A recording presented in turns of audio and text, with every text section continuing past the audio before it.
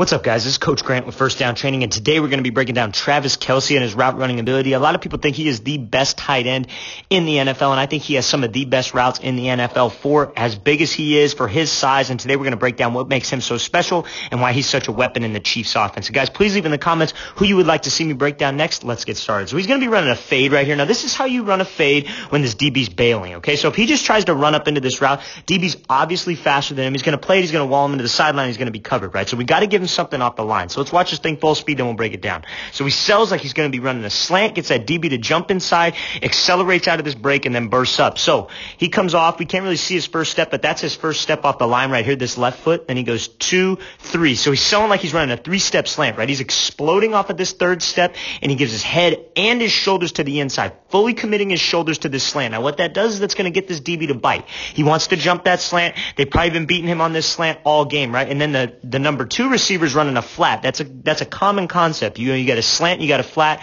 Quarterback's reading this linebacker. Corner wants to jump this, jump this route. Mahomes does a good job of recognizing that he's going to get some separation. Or no, this is Alex Smith, excuse me.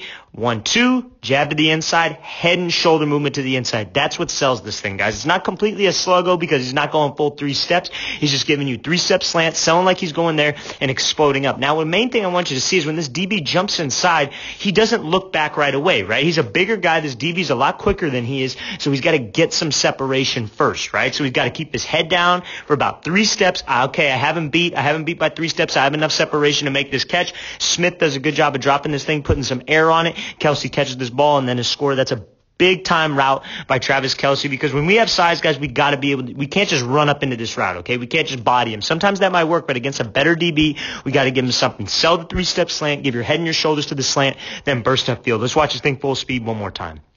One, two, burst up to the inside, head and shoulder movement, guys. I can't stress that enough. You bigger guys, you bigger wide receivers, you tight ends, we got to be able to use our head and our shoulders. And now this is another great example of a stick nod route where he uses his head and his shoulders to create separation off the line and at the top of the route. So let's watch this thing full speed. So he gives a double move off the line, one, two, gets him to turn those hips, gets him to open up, takes the outside release, then catches this ball in tight coverage. Quarterback makes a good throw, so we're going to break this down.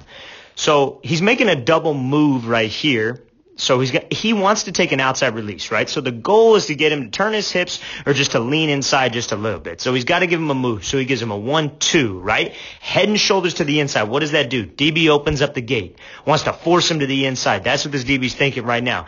Now he wants to take this outside release. Where does Kelce attack? You got to have a plan with your feet and you got to have a plan with your hands. He attacks the back elbow of this linebacker, right? That's a point of control. Kelce's a big guy. All we got to do is be physical. Attacks the back elbow to get some separation. That's a good job. And also, one, two, he's exploding off of this step. He keeps a good pad level position. You taller guys love to stand up when we make a release off the line. We got to stay low. We got to stay explosive. And we got to explode off the inside portion of our foot so we can get some push and accelerate up into this route. Has a plan for his hands, slap, chop. And when he brings this opposite arm over, guys, he doesn't swing it way over the top top. He protects his rib cage because if he tries to pop him inside his frame and knock him off this route, all he has to do is chop down like he just did. That's a great job when you need to take an outside release, take using a double move, so going right left. Now he sells like he's just running, going to be running this stick route, just turn around, gives a little bit of a one-two, right? So one-two. Again, head and shoulder movement to the outside, sudden feet, quick feet, exploding off the inside portion of his foot. What does this do? Why does he give head and shoulder movement so much to the inside? Because this linebacker is going to try to jump it. He's going to get greedy and he's going to try to jump this route. Now he's over the top of him. I like this matchup in the red zone because Kelce has leverage, and then all we have to do is throw an accurate ball. DB has or linebacker has no chance to make a play on this ball. That's a great job by Travis Kelce working the stick nod route. So let's watch this thing full speed one more time. Coming out, one, two, head and shoulder movement, take the inside release, one, two to the outside, and catch this ball up the, up the seam for a great job. Okay, so now he's going to be running a corner route, common route that tight ends run. The main thing I want you to focus on is his eyes and his shoulders here, guys. So let's watch this thing full speed, then we'll break it down. So he's coming off the line of scrimmage, eyes to the inside, stick. Mahomes gives him a good ball over the top for a big catch. So main thing off the line of scrimmage, right? Look where his eyes are. He starts his stem out wide, right? Head and shoulders to the outside, squares up this DB, right? Attacking his midline. Now he gives his eyes to the inside. Now what does that do? That's going to make him jump inside. He wants to jump this route. He wants to play this thing. He wants to stay on this hip so he can make a play on the ball over the middle. You see Kelce runs a lot of drags and we're going to break that down later in the film.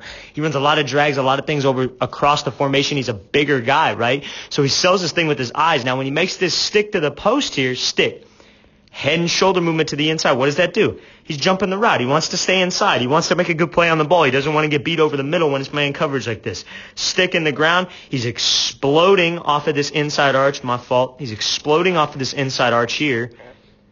And again, having a plan for his hands, right? He always has a plan for his hands, even at the top of the route. Not just the release, even at the top of the route. He wants to chop and by. Again, what did I say about protecting that rib cage? Keeps those elbows nice and tight. Anytime we chop over the top, anytime we, sw- or not swim, but chop over the top, we want to protect our rib cage, guys. We can't go super high because if we go super high and this arm's up here, all this DB can do is pop and recover and knock us off that route, give us a good shot to the rib cage. And now he's on this guy's trying to guard one of the best tight ends in the game with no hands on him. That's a recipe for disaster. Then all Mahomes has to do is give him an accurate ball over the top. That's a great job by Kelce using his eyes, selling this post or some kind of drag over the middle by giving this linebacker his eyes to the inside, stick with head and shoulder movement to the inside, and then bursting upfield to this corner. Let's watch this thing full speed one more time. You got, you're gonna get the DBs to cheat inside if we give them our eyes. If we don't give them our eyes, guys, let's say Kelce was just looking outside the entire time, he's not gonna get any separation because DB knows exactly where he's going. He's gonna be playing your eyes, he's gonna be playing your body. Well, he's not gonna be playing your eyes. He's gonna be playing your body. But if you commit your eyes, you're gonna commit your shoulders,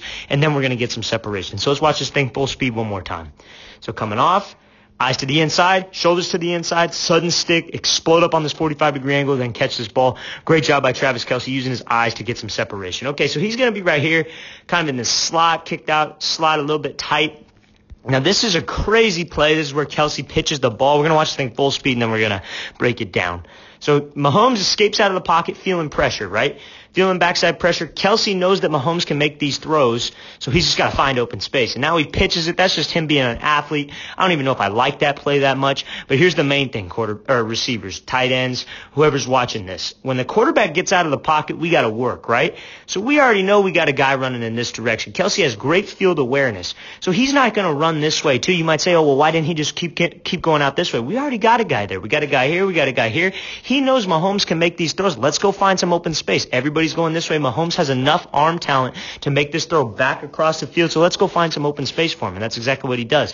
Find some open space and works back. That's what we call working without the ball. In the route, doesn't matter. Quarterback gets out of the pocket. It's scramble drill. It's like you're playing flag football at recess almost. So Mahomes is coming out, drops this ball over the top. Now Kelce does a good job over the middle, right? Let's go up and high point it, okay? Let's not wait for this ball and take a shot from this DB. Let's go up and high point this ball because that's going to cut the flight path down. And this is a long throw. This ball was in the air for a little while. It's a tough throw to make for that quarterback. Let's cut the flight path out. Let's make sure we catch this ball before anybody else catches this ball. And then he does a good job of coming down and then pitching that ball. That's a crazy play. That's that's unbelievable. If that didn't work, that's one of the dumbest plays ever, but it did work. And Kelce's so athletic, such a big play for him. Go up and high point this ball and work without the ball. That's what I want you guys to get out of this, guys. Work without the ball. Quarterback gets out of the pocket. We got to find some open space. Now, if your quarterback can't make those throws, I'm, I necessarily don't like that, but he knows he's got Patrick Mahomes back here. Okay, that definitely helps making those throws. But if your quarterback cannot make those throws, don't just be running over there for the sake of running over there. Okay, in that situation, what Kelce did, if this quarterback can't make the throw, maybe come back downhill. Okay, come back to him. Maybe work deep, work up deep. But if he can't make those those throws, he doesn't have the arm talent like that. I don't even like saying arm talent. He doesn't have the arm strength like that don't don't cut back across the field. Okay, start coming back down to the ball. Scramble drill rules rules is if you're deep, you want to come back downhill. If you're running right, you want to come back left. If you're running left, you want to come back right. And then if you're running a short route, you want to go deep. Okay, so it's kind of opposite. Like if you're running a hitch, you want to go up to a fade. You're running a fade, you want to come back downhill, and vice versa. You just got to find some open space. Let's watch this thing full speed one more time. So Mahomes is coming out.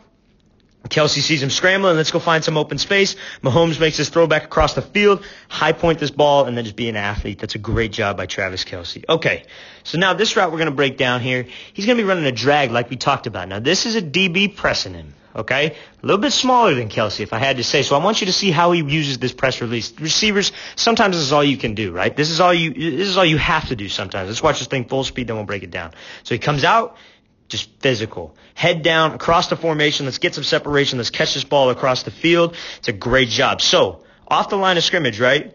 He sees this DB, good base, right? But he's off. So let's close the gap with him and let's be physical. Let's just get his hands off of us, right?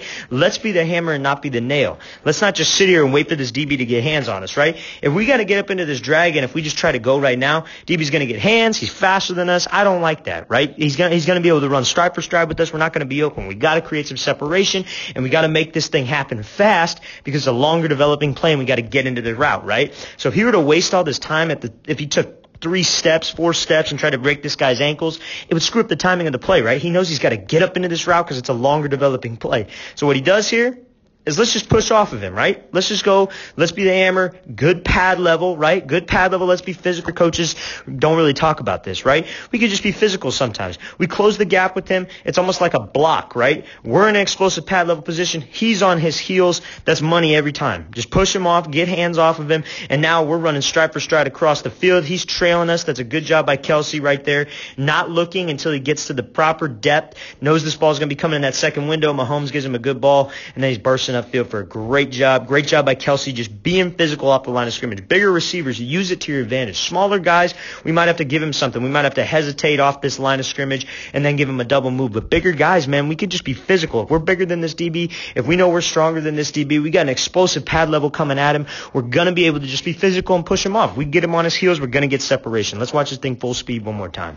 So coming off, get those hands off, push him across the field, head down, pumping those arms. Let's catch this ball. Let's burst upfield and let's go make a big play. That's a great job by Travis Kelce. All right, guys, I really want to thank you for watching. Again, please leave in the comments any questions you guys might have, any comments, um, who you would like to see me break down next. I really appreciate that, guys, and I'll see you guys next time.